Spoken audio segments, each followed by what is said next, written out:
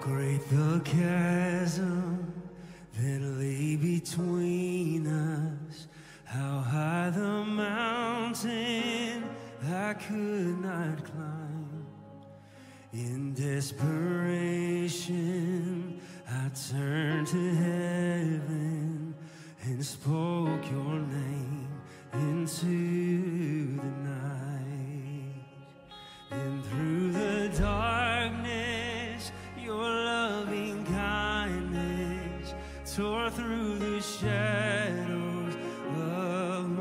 soul. The work is finished, the end is written.